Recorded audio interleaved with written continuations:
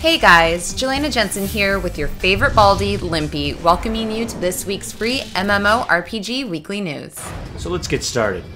Alright guys, last week we had some interesting news out of the end of Nations Camp. I know that game kind of seemed like it was shelved for a while, but last week we got the news that the game is now moving from an MMORTS to a MOBA. So that ought to be really interesting to see how that turns out. It's still supposed to be real-time strategy, but in a MOBA environment. Now, real-time strategy kind of fits a MOBA environment anyways, but let's just hope that they really pull it off. It's going to be something new and different out of Trion Worlds, so I expect that this free-to-play title is really going to turn some heads.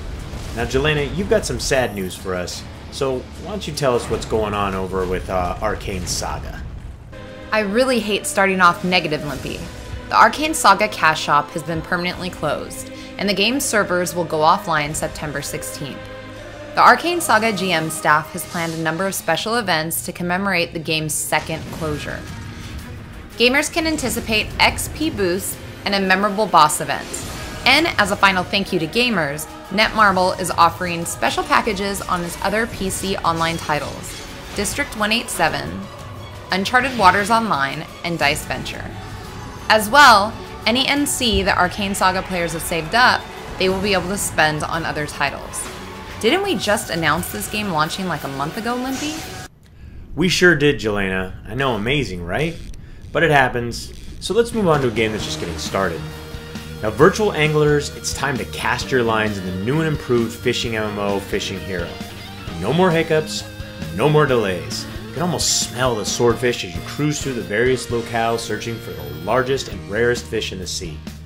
Compete with friends or enjoy some time on your own boat anyone is free to join the open beta from July 11th to July 31st.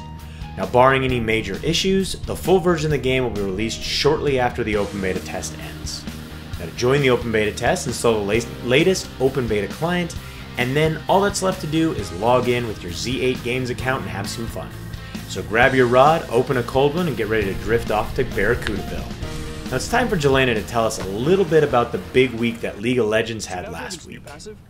League of Legends certainly did have quite the week last week, Limpy. The first announcement this week came out of Washington and was a huge bit of news not only for League of Legends, but also for other esports. League of Legends is now recognized as a sport in the United States, thus allowing for gamers to more easily obtain visas when traveling to the US for high level tournaments. Following that came the news about the all new patch 3.9 and the change to several fan favorite characters to help balance the game. Also, changes have been made to vision items and Oracle's Elixir.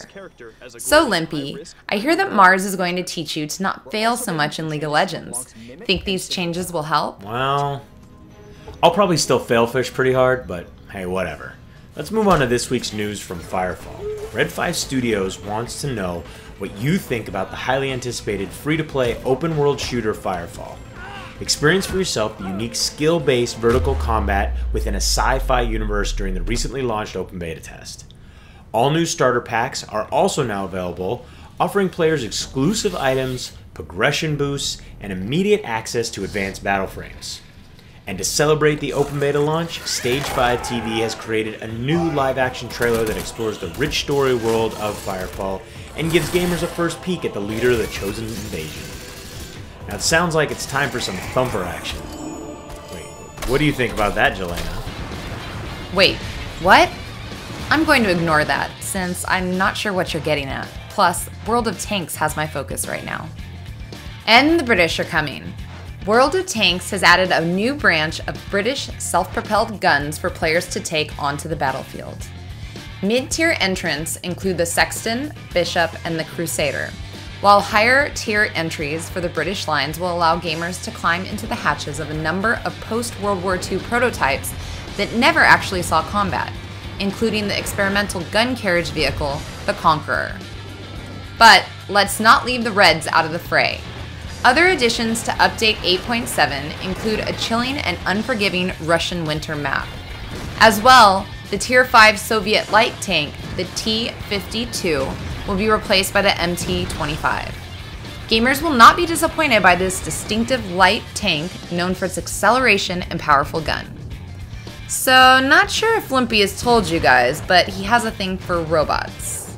Well, actually, nanobots. Uh, you know me all too well.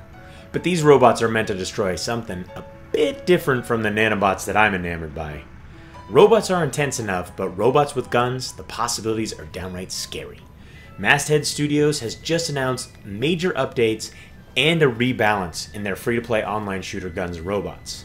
Now, players of similar skill levels will be matched together for a more balanced team setup, allowing more freedom to improve and employ different gameplay style.